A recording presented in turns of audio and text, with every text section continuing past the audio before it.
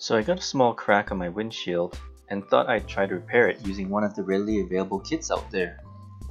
In this picture, I was in the middle of repairing the crack using the typical syringe style repair kit, oh about a month ago. Because I had not done it properly, the resin repair actually popped out. So in this video I will redo that repair, but this time I will use a bridge style repair kit. This kit differs from the syringe style ones as it allows for multiple repairs in one kit. It is also styled after professional repair tools, or at least it resembles one to some degree.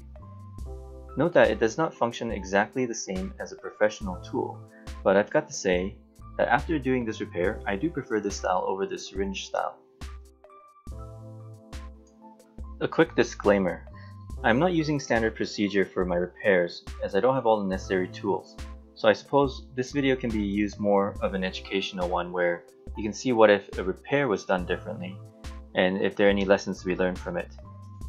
A professional repair would involve using the right drill bit, only drilling small holes, using a depth gauge to ensure the drilling doesn't go too far, and also using a spring hammer to create a mini bullseye chip at the ends of the crack after drilling out the ends.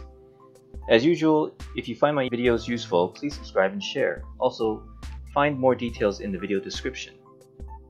A little background before we start. The crack I have on the windshield is small, but I wanted to use a method where the ends of the cracks are drilled out and filled with resin so that it helps to prevent a small crack from spreading.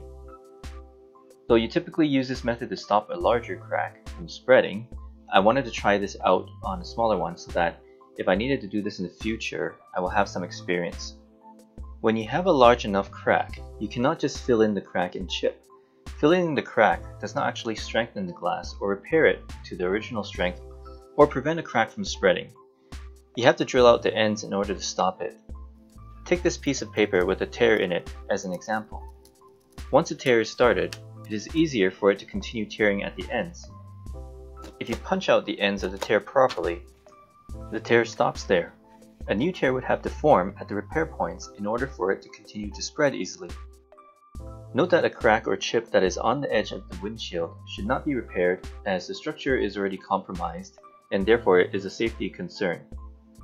Second, if the crack is in the line of sight of the driver, such that it could cause visibility issues, then replacement is also advised.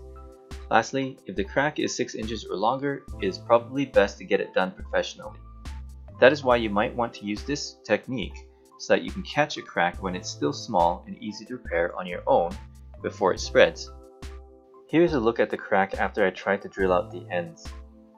In this case, the drilling didn't go well since my old rotary tool was failing and it would turn off and on randomly, dropping RPMs and causing the drill tip to skip across the windshield. This caused the upside down V-shaped scuff mark in the middle between the drill holes. I did not end up using a proper drill bit as my Dremel tools collet is not the right size for it, as you can see here. So I ended up using a diamond tip drill bit. One thing I learned is that if you're drilling out a hole, don't use a large pointed tip. This leaves a hole that is V-shaped and easy for the resin repair to loosen and pop out, which is what happened to me. Make sure to wear safety glasses and gloves. Also, a mask can help to prevent breathing in small glass particles when drilling.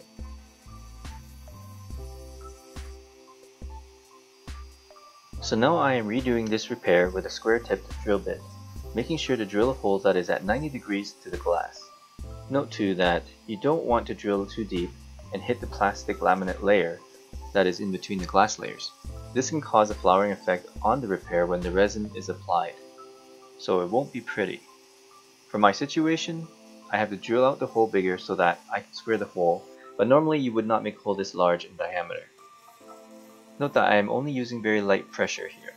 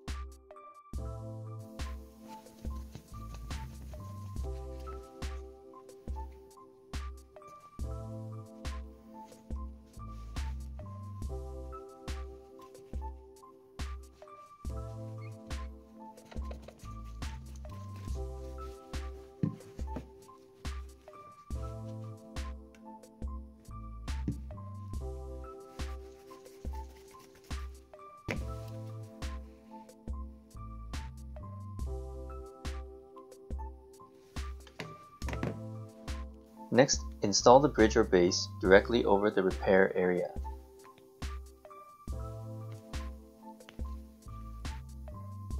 Now, screw the resin chamber clockwise into the bridge.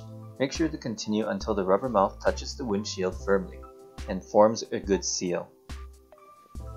Squeeze 3 to 6 drops of the resin into the chamber.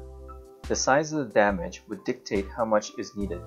If resin leaks out at this point, then the chamber is not tight enough on the windshield, so turn to further tighten the seal and stop the leak. Screw the pressure driver clockwise into the chamber. Tighten until the pressure driver is almost all the way in. Check from inside the car that the damage is being filled with resin. If needed, tighten the driver further to push more resin in. After that, wait for about 4 to 6 minutes for the resin to fill the damaged area. Unscrew the pressure driver to let any trapped air out. Then reinstall the driver, tighten, and make sure no air bubbles are in the damaged area. If there are, then steps 4 to 6 may need to be repeated. Turn the resin chamber about half a turn counterclockwise and remove the entire apparatus. Watch for dripping resin and wipe away excess from the windshield. Any resin left on the windshield will harden and will have to be scraped off at the end of the curing process.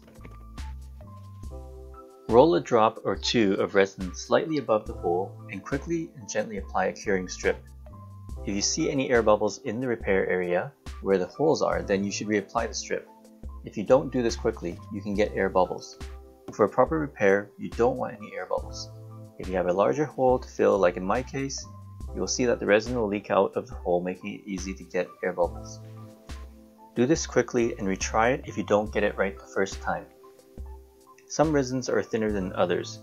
The thicker ones are normally used to pit fill, as they won't run as easily as you see here. Best to do this kind of repair when it is sunny and warm out. Otherwise you will need a UV light. Next, move the car into direct sunlight and or use a UV light. Let the resin cure. The instructions say that it should take only about 5 to 10 minutes, but it usually takes longer. It could take up to an hour depending on the amount of sunlight available. When the curing is complete, the strip will stick to the windshield. Push the strip from one corner to lift and remove it. Use the supplied razor blade to scrape the surface lightly at 90 degrees to the windshield. Scrape away excess dried resin, being careful not to damage the repair.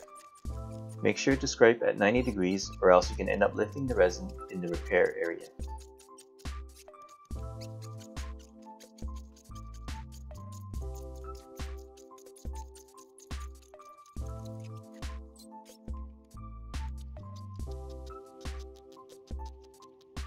If you have a lot of excess resin to scrape that is away from the repair, then it is okay to scrape at less than 90 degrees to help remove it easier.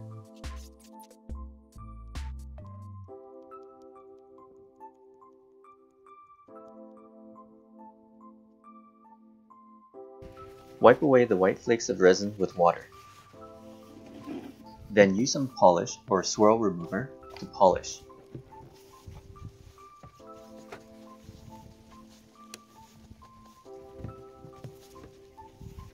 And finish off with some glass cleaner.